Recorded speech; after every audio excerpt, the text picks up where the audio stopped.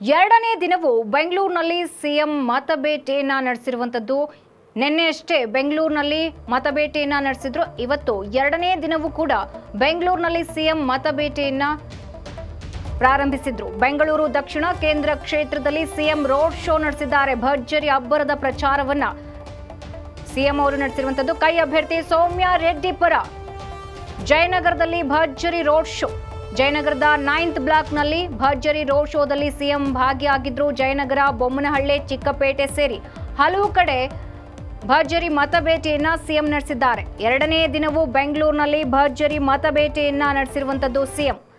ಬೆಂಗಳೂರು, ದಕ್ಷಿಣ ಹಾಗೆ ಕೇಂದ್ರ ಸೇರಿದಂತೆ ಅನೇಕ ಕಡೆ ಸಿಎಂ ಅವರು ಈಗಾಗಲೇ ಭರ್ಜರಿ ರೋಡ್ ಶೋ ಮುಖಾಂತರ ಮತಬೇಟೆಯನ್ನು ಪ್ರಾರಂಭಿಸಿರುವಂಥದ್ದು ಇವತ್ತು ಕಾಂಗ್ರೆಸ್ ಅಭ್ಯರ್ಥಿಯಾಗಿರುವಂತಹ يا رب